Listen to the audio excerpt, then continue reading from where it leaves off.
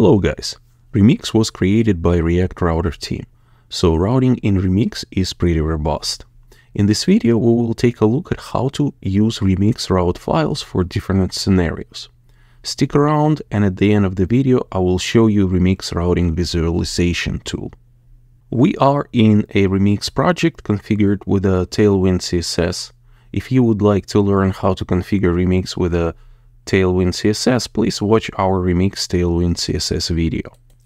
The root file in the app folder is the root layout for the entire app. All other routes will render inside the outlet. Root.tsx file works just like all other routes, so you can um, export loader, action, and etc. Let's create a couple of basic routes. All the routes go in a routes folder, so let's create underscore index.tsx file in the routes folder.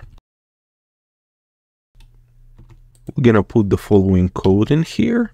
Don't worry about the code too much. I'm just using some Tailwind CSS components. Underscore index.tsx file will be the index page for the website. Uh, the leading underscore means we don't have any route part in the URL. Now in the routes folder, let's create about.tsx file. And we're going to paste the code in here again. Finally, let's create the contact.tsx file. Let's go ahead, save all, and switch to the browser.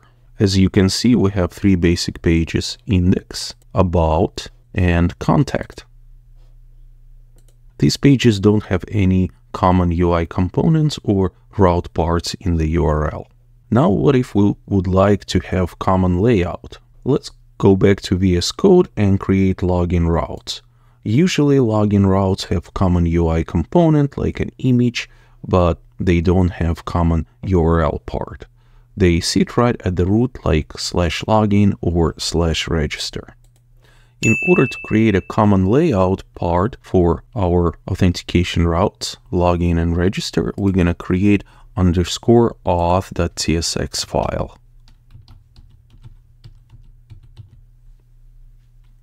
And we're going to put the following code in there. The common layout for login and register routes will be uh, this image right here and login and register form will be inserted in outlet. Let's go ahead and create login route. In the routes folder, we're going to create a new file called underscore auth dot login dot tsx. We're going to paste the following code in there, and since it's uh, spaced out under underscore auth dot login, it will inherit the auth uh, UI. Next, let's go ahead and create a register route in the same way. It's going to be auth.register.tsx. And just paste some code in here as well. Again, let's go ahead and save everything and head back to the browser. Let's go ahead, and click on the login link right here. And now you can see we have slash login. And if we click on sign up here, we have a slash register routes underscore in front of the auth makes auth part invisible in the URL. Now let's say we actually want to have a common URL part as well as common layout. Dashboard routes can be a good example of that.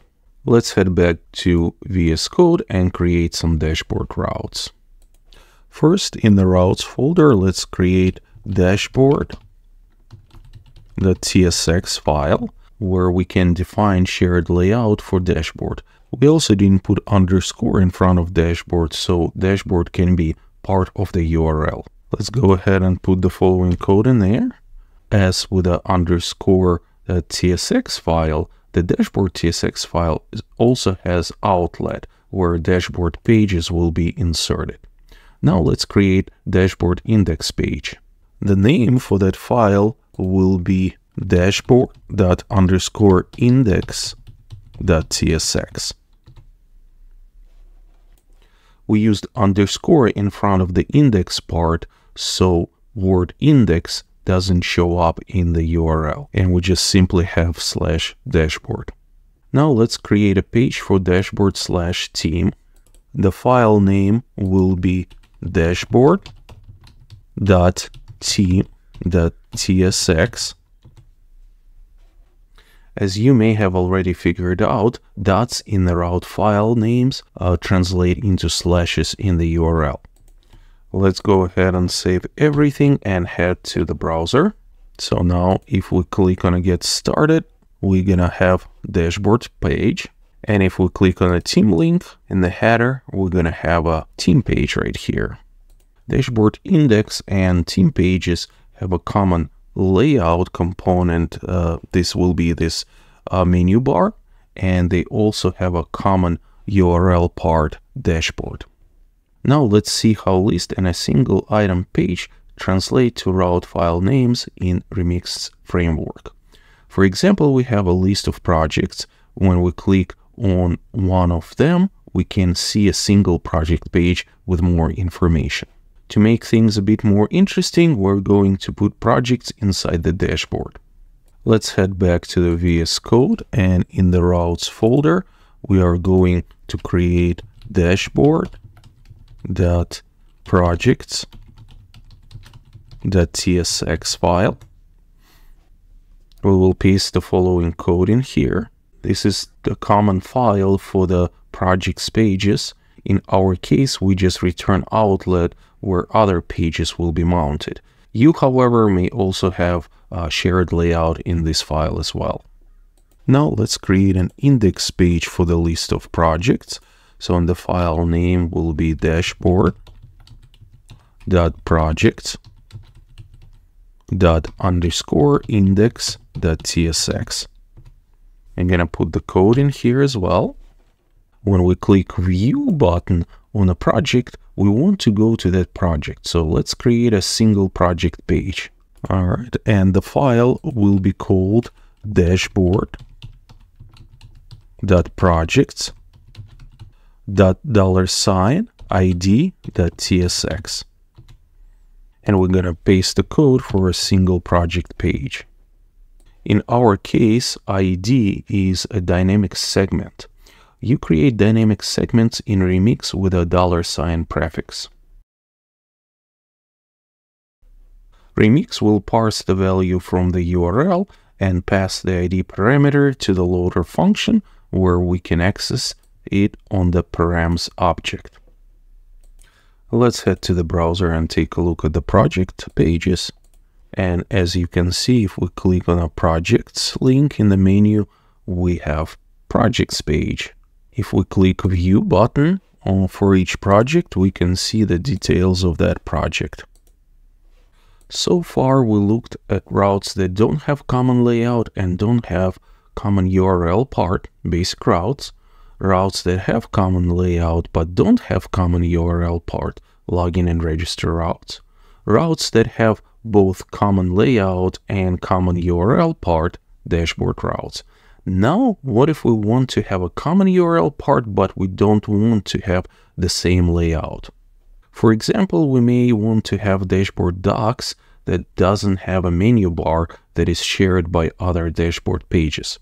Let's create such page in the routes folder. We're gonna call it dashboard underscore dot docs dot tsx. To break the page out of the common layout, we use a trailing underscore on the dashboard. Now, if we click on a docs menu, we can see the docs page has dashboard part in its URL, but it doesn't share a common dashboard layout. We already looked at how to match a dynamic segment such as ID in the route file. Now let's look at how to dynamically match the rest of the URL. This can be useful if we need to create a custom 404 page for our dashboard. In order to do that, we need to create dashboard dollar sign tsx file. The dollar sign will match all the URL parts except for the ones we already defined. This is essentially a dashboard catch-all route. In Remix, it is called a splat route. Let's paste the code for our custom dashboard 404 page. Similar to dynamic route parameters, you can access the value of the matched path on a splats route params with a asterisk key. Now, if we go to the browser and in the URL, we type something like dashboard hello world, we're gonna have our custom dashboard 404 page. This page has a shared dashboard menu bar layout. In this video, we looked at most common file routing use cases and how to implement them in the Remix. In order to better understand Remix routing conventions, you can use Route Visualization tool at https remix-routing-demo.netlify.app. So just be sure you have a version 2 demo selected. I hope you liked this video. We used Remix with a Tailwind as a base for this project. If you would like to learn how to configure Remix with a Tailwind CSS, please watch this video. Thank you for watching and I will see you next time.